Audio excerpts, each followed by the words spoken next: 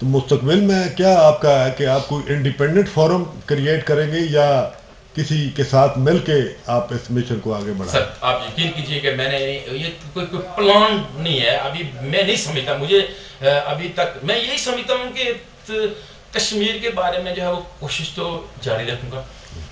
बल्कि मैंने आपको कहा कि हमने पाकिस्तान के बारे में बहुत कोशिश किया मैंने यूएन में जाके तो जो जस्टिस चौधरी साहब के बारे में बहुत मैंने वहाँ पे बात प्रोटेस्ट किया था। स्पीच की थी और पाकिस्तान के अंदर डेमोक्रेसी की जो बहाली के लिए बहुत कोशिश की थी। मतलब ये आप यूनत ऐसे ही एक पीएनपी के लेवल की वजह से बंदा ये कहे कि नहीं, हम पूरी दुनिया के इंसानों के हक की बात करते हैं और मैं करता रहूँगा तो ना ये मुझे पीएनपी ने नहीं सिखाया, ये मेरे ब्लड में है, मैं करता रहूँगा। इसलिए कि मैं आपको, मैं हिस्ट्री सुनाऊं तो मैं Azad paramedical staff association Azad Kashmir का प्रेसिडेंट था। कॉलेज में जब मैं कॉलेज में था तो उस वक्त जियाउल के दौर में तंजीम पाबंदी थी, लेकिन हमने टेक्निक की तंजीम ऐसी बनाई थी कि मैं कॉलेज के मुकामी यूनिट का चेयरमैन था। तो कहने का मतलब यह है कि मैं अगर जॉब में भी रहा हूँ तो पैरामेडिकल स्टाफ एसोसिएशन का प्रेसिडेंट रहा हूँ, और फिर तहसील का भी रहा हूँ डिस्ट्रिक्ट रहा हूँ, फिर पैरामेडिक पूरे पैरामेडिक का रहा हूँ। तो मेरी ये हिस्ट्री है, मैं कोई ऐसे सिंपल मतलब बैठने वाला बंदा नहीं हूँ, लेकिन यह है कि मैं कश्मीर के बारे में जो कोशिश करता रहूँगा, और जो भी मुझे हुआ फोरम तो अभी मेरे सारे फोरम फोरम अपने जाने पहचाने हैं। कोई ऐसी बात नहीं। मुझे अलबत् अगर इस सवाल को आप कोई इस तरह से पूछना चाहते हैं कि कोई मैं न्यू नई ऑर्गेनाइजेशन बनाऊँगा तो मेरा इससे अभी तक कोई इरादा नहीं। सर सुना गया कि आपकी मुलाकात जैसा कि आपने फरमाया शौकत कश्मीरी साहब से हुई है पार्टी छोड़ने के बाद। तो ये भी सुना गया कि आपको चेयरमैनशिप की दावत दी उन्होंने। पौधा कबूल किया आपने या नहीं या इस बारे आपका ये बात दुरुस्त है ये है ये खबर में सदाकत है। सर, आप यूँ इसको आप यूँ ले सकते हैं कि ये एक मोहब्बत में है। उन्होंने, वो मेरे पास आए थे, तशरीफ़ लाए थे, मेरे चेयरमैन हैं।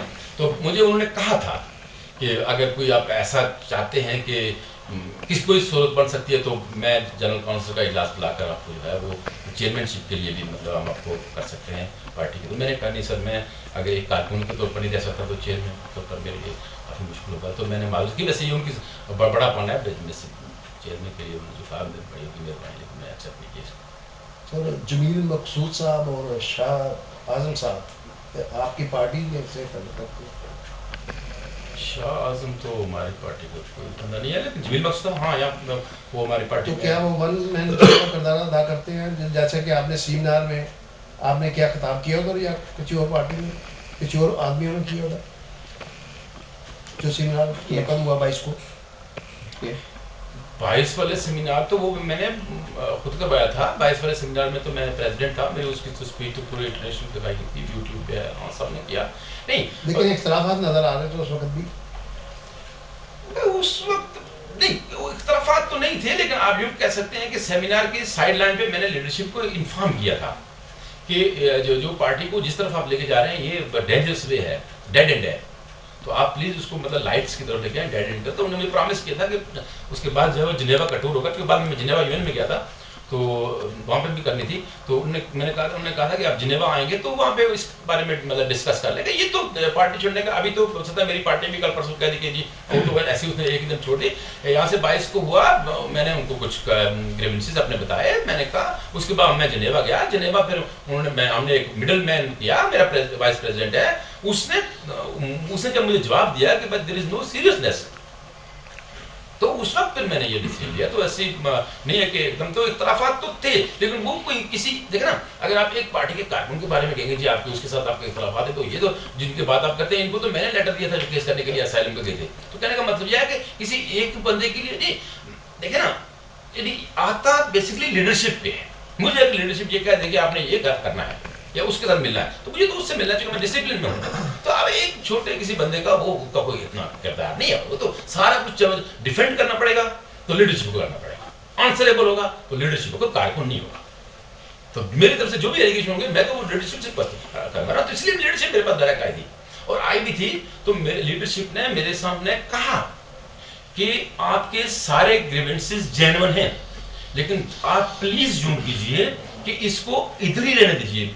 और आप जो है हम आपको तो मैंने उनसे कहा, नहीं, आप इन सारी चीज़ों को ठीक कीजिए, मैं बाद में देखूँगा। लेकिन मैं अभी इन चीज़ों की मौजूदगी में दोबारा जो पार्टी में नहीं रह सकता। डॉक्टर साहब, आपने अभी बात, बहुत सी चीज़ों को आपने कहा कि नहीं, ऐसी कोई बात नहीं है। ना हम इंडिया लादी के लिए काम करते हैं, ना हम किसी और मफादात के लिए, किसी के लिए काम करते हैं।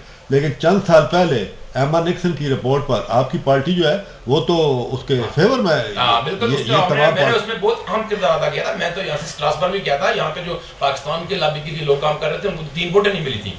का- कहने का मतलब यह है कि हेमा निकलसन की कोई रिपोर्ट कोई पाकिस्तान के अगेंस्ट नहीं थी। ये तो फेलियर था आपकी डिप्लोमेसी का। ये तो फेलियर था पाकिस्तान की डिप्लोमेसी का कि यहाँ से एक हमारे एम्बेसडर हैं कितने बड़े पोस्ट पे होते हैं। वो एम्बेसडर जो है वो वो एमन निकलसन को खत लिख देते हैं। कि जी गलगित बल्तिस्तान तो सदियों से हमारा हिस्सा है। वो आप जब डेमोग्राफी डेमोग्राफी देखेंगे ये कोई इतने पागल लोग नहीं है, इनको सब पता है। तो फिर हमारे, हमें आपने खुद इशू दिया था और बेसिकली ये मसला क्या था? ये मसला था कि गलगित बल्तिस्तान के लोगों के राइट्स हैं कि नहीं है? गलगित बल्तिस्तान के लोगों के राइट्स है कि नहीं है? तो गलगित बल्तिस्तान के लोगों के वाकई राइट्स नहीं थे। उसमें तो यूरोपियन यूनियन वालों ने तो ये तो हमारे सुनते तो नहीं जी जी कह दे जी, आप यूँ करना हो तो करना नहीं। उनको तो आप जब फिगर फिगर एंड फैक्ट्स देंगे, हमने अगर फ़ायदा इतना ही छोटा कागज़ था, हमने फिर कर कि ये है, आप इस पे इंक्वायरी करवा लीजिए। जिन जिन लोगों ने इंक्वायरी करवाई उन्होंने फिर आपके खिलाफ में वोट दे दिया। तो कहने का मतलब यह है कि हमारी पार्टी, हमको इंडिया ये इसमें तो इंडिया के खिलाफ। देखे ना, अगर हम कश्मीर की आज़ादी और खुद मुख्तारी के बारे में बात करेंगे, इस तरफ़ की कश्मीर की तो इसका मतलब तो नहीं है कि आप इंडिया के हक में बात करें। नो हम जो है वो उस तरफ़ के कश्मीर की भी खुद मुख्तारी की बात करते हैं ऐसी कोई बात नहीं है। नहीं आवाज़ तो आपकी और कश- ए, इंडिया की उस वक्त एक थी ना। नो नो नो हाँ तो वो तो होनी चाहिए ना। For example for example Pakistan अभी कोई रिफॉर्म करता है कश्मीर को इस आज़ाद कश्मीर को सुबह बनाता है। ठीक है? फॉर एग्ज़ाम्पल जो जिसमें मैं रहने वाला हूँ सुबह बनाता है तो मैं तो उसमें मुखालफत करूँगा। तो उसमें तो ऑटोमेटिकली इंडिया भी करेगा मुखालफत। इसलिए कि क्लेम तो दोनों मुल्कों का है ना सर।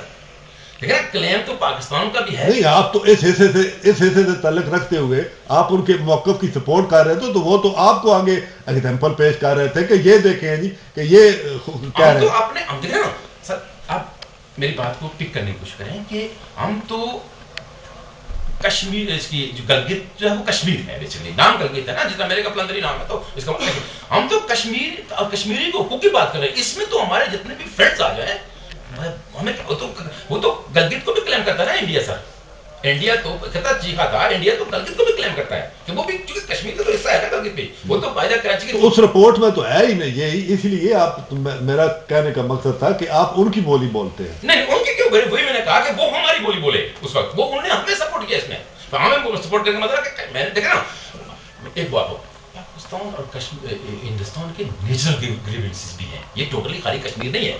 सियाचिन पे कितने लोग मरते हैं? मतलब आपको पता है बहुत ज़्यादा नेचुरल मतलब एक दूसरे को बर्दाश्त नहीं कर सकते इसलिए कि एक, एक के दो टुकड़े हुए ना जी। तो नहीं ठीक है? अगर मसला कश्मीर हल भी हो जाए तो इनकी ग्रीवियस जो है आपके ख्याल में बर- कायम मे- रहे ये ये ये कह देना चाहिए वो जी मसला कश्मीर जब बॉन्ड ऑफ़ कॉन्टेंशन है या फसाद की जड़ है ऐसा नहीं है। इनके और भी ग्रेवेंसेस और मैं ये कहता हूँ कि इतना इन्हें लेट कर दिया तो एटलीस्ट ठीक है मसला कश्मीर को अपनी जगह इन्होंने फिर अपने मसाइल हल क्यों नहीं किए जी? पानी के मसाइल अभी तक हल नहीं किए। इंडिया ने इनके बहुत सारे अभी पैसे देने हैं जो जो पता है पार्टीशन के बाद देते थे वो अभी तक हल नहीं करवा सके। यहाँ से एक बंदा बेचारा मछली पकड़ने वाला चला जाता है तो उसको सौ सौ साल तक आप लोग गिरफ़्तार कर लेते हैं। उधर इधर आ जाता तो उसको गिरफ़्तार मतलब यानी इस तरह के मसाइल जो के इस तरह ये दुनिया अभी बहुत बहुत एडवांस हो चुकी है अभी जेलों में भी बड़ी फैसिलिटीज़ है। तो कहने का मतलब यह है कि लाइफ बड़ी एक्सपेंसिव है। तो इस तरह का जो है पाकिस्तान को और हिंदुस्तान को अपने इसीलिए तो हमने नवाज़ शरीफ के बयान को बड़ा अप्रिशिएट किया मेरी पार्टी ने भी किया हमने भी किया और कुछ लोग कहते हैं जी वैसे ये कर, करना पड़ेगा सर। अब क्यों कौन से बर्फ़ के तोदे पर और मौत के तोदे पर खड़े हैं और किस चीज़ का डिफेंस कर रहे हैं आप लोग? वहाँ से तो कोई आ नहीं सकता कोई जा नहीं सकता। मकसद है कि जो नेशनल बॉर्डर अभी है आप अगर ये डिसीज़न में आता है कि इधर के इधर और इधर के इधर आप नहीं इसको ये, ये तो- तो थे हमारे इसमें हम तो कहेंगे कि टोटली कश्मीर को पूरे कश्मीर के अंदर रेफरेंडम हो पूरे कश्मीर के अंदर जो है वोटिंग हो और उसमें यानी टुकड़े टुकड़े तो हम मदर वतन को नहीं होने देंगे। टुकड़े टुकड़े नहीं होने देंगे। नहीं बस लेकिन अगर फ़र्ज़ करें आप कश्मीर की आप कहते हैं खुद जारियत की आपने कहा है कश्मीर को हक खुदात मिलना चाहिए। अगर कश्मीर के लोग बदात कश्मीर जो रहते हैं ये अगर अक्सीत के साथ ये फैसला कर दें कि हम पाकिस्तान के साथ मिलना चाहते हैं या अलग सूबा बनाना चाहते हैं या सूबे की शक्ल में पाकिस्तान में शामिल हो जाते हैं तो फिर आप क्या करेंगे? सर आई विल अप्रिशिएट मैं तो. मैं तो बिल्कुल उस सूबे का फौज पर शनाख्ती बनवाऊँगा। पहले ये चाह रहा था मैं रिजाइन लिखा हुआ है तो मैं आपको इसको रिजाइन के मैं कुछ सिग्नेचर करूँ तो फिर मुझे ज़्यादा मज़ा आएगा। तीसरी बात हाँ। आप आप फरमा रहे हैं कि हमें कहीं से ऐड नहीं मिलती ये नामुमकिन सी बात है। पाकिस्तान की जितनी सियासी पार्टी हैं जनरल साहब ने भी कहा मैं इनके मैनेजमेंट ये जो आपके ऑफिशियल्स हैं ये जो बड़ी बड़ी इमारतें आपने किराए पे ली हुई हैं ये जो आप अखराज आखिर ये कहाँ से आते हैं? सर मैं तो बेसिकली अपने अखराज तो मैं खुद करता हूँ। पार्टी हाँ, हूँ। तो उसके बाद इतनी बड़ी बात देखा ना बात यह है कि हर आदमी यहाँ पे बरसरे रोज़गार है। तो दूसरी बात ये सर कि जो जो मैंने कब आपसे कहा कि हमें फंडिंग नहीं मिलती, या मिलती है? मैंने इसके ऊपर नोक मिट्स कहा। मैंने कहा, मेरा जो इल्ज़ाम जो है पढ़ने का है। ये तो देखें बात यह है कि जो बड़ी बड़ी बिल्डिंग कहते हैं, हमारा सिर्फ़ एक ऑफ़िस है यहाँ पे। हमारा एक ऑफ़िस है। और वो काफ़ी, और वो भी मतलब है जाना इतना एक ऑफ़िस जब पार्टी बेसिकली अगर आप यूँ, अगर कोई ऐसी भोकला वाली डिस्कस में आ जाए तो एक ऑफ़िस को पार्टी जो अफोर्ड कर सकती है, ऐसी कोई बात नहीं है। तो फंडिंग से तो मैं जी नहीं, अगर कोई मिलता भी है या नहीं भी मिलता है, मैं बेसिकली इससे बरी जुर्मा हूँ और ना मुझे इस बारे में कोई इन्फॉर्मेशन क्योंकि ये एक इल्ज़ाम है बहुत पुराना है, और फंडिंग का क्या है? यहाँ तो लॉबिंग में आप देखा कि फैज साहब को तो उनको भी अरेस्ट किया गया तो इस तरह के तो मामला तो मैं उसको ना तो डिफेंड करता हूँ ना मैं इस बारे में कोई कमेंट बेसिकली चाहता हूँ कि क्योंकि ये आप किसी मिनट, हाई कमांड लीडरशिप से ही बात कर सकते हैं जिनको चांस हो सकते हैं।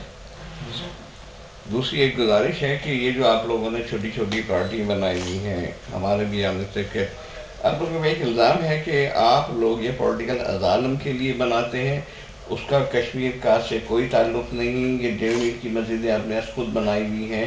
और एक दूसरे की लैक पुलिस करते हैं। इसमें कहाँ तक सदाकत सर ये आप बिल्कुल आप ठीक करें एक एक चीज़ के इख्तलाफ के साथ मैं ये कहूँगा कि वाकई ये कश्मीरी का आलमिया है। यानी असाइलम को हट जाए क्योंकि असाइलम तो अब यूँ कहिए कि जिस भी पार्टी के गैस चलते हैं सारे उसके करा देते हैं। जी। लेकिन आ, तो ये ये ये अच्छी बात है, किसी की बहन की शादी हो गई, किसी के घर का चूल्हा जल गया, अगर मतलब असाइलम कम मेरे ख्याल में ये तो अच्छी बात है। मैंने तो यहाँ पे आपको बताऊँ कि दो तीन लड़के जो मेरी पार्टी के नहीं भी थे तो मैंने उनको कहा, मैंने उनकी सिफारिश भी की, वो भी आज तक भी शुक्रिया अदा करते हैं। लेकिन हमारा क्या जाता है? किसी का भला हो जाए, इसमें तो कोई ऐसी बात नहीं है। लेकिन ये बड़ा अलमिया है कश्मीर की पॉलिटिक्स के अंदर कि नेशनलिस्ट जो हैं, पूरी दुनिया के लोग जो है वो नेशनलिस्ट के मुखालफ हैं और नेशनलिस्ट खुद अपने मुखालफ भी हैं। ये अलमिया है।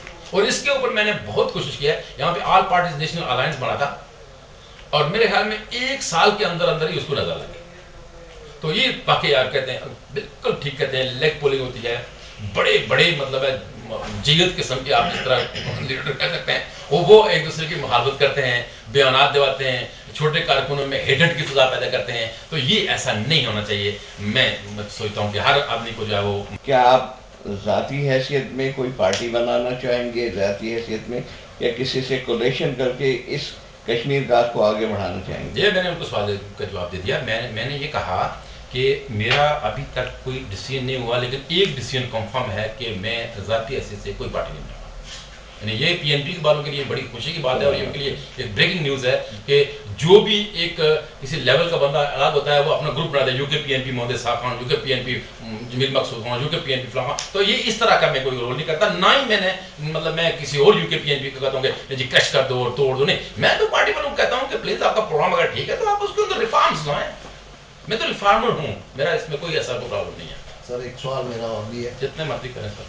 सर आपकी पार्टी पे ये भी इल्ज़ाम है कि आपका जो बेल्जियम का ऑफ़िस है फिर बाद दूसरे लोगों को किराए पे देकर पैसे ले लिए जाते हैं तो उसका जिम्मेदार कौन है? हाँ ये ये आपका एक जेनरल क्वेश्चन है और इस पर मुझे भी बहुत मतलब है अफसोस है और मुझे शर्मिंदगी भी हो रही है जब आप ये सवाल कर रहे हैं।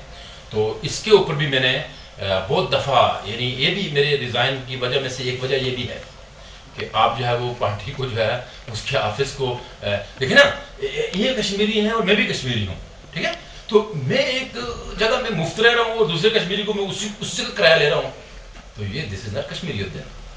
है ना? तो इस ये भी मेरा इख्तलाफ था। ये आपका बड़ा अंदर का सवाल है मुझे नहीं पता कि तो क्या ये चेयरमैन साहब के इलम में था? तो क्यों नहीं एलिमेंट था? उनको तो सबको इलम था। क्या चेयरमैन साहब भी उसमें से बता लेते? नहीं, उनका पता लेने का तो, तो, तो इस तरह का नहीं है लेकिन मुझे ये नहीं पता कि उसमें वो क्या सिस्टम था। इसलिए मैं कह रहा हूँ कि बहुत सारी चीज़ों में ये जो इन बार में मुझे दूसरी तरफ़ खींचा मैंने यही कह रहा था कि बहुत सारी चीज़ों में सीनियर कारकुनों को बाईपास किया जाता है। और बाईपास करने का मतलब यही है कि और वो कोई किराए पर रखने वाले को हमारे को दूसरे कोई कोई, और कोई कराची या मतलब है जहाँ लाहौर से कोई बंदा नहीं आया था, बल्कि हमारे एक शहर में दूसरी जगह रहने वाले लोगों को हम किराए पर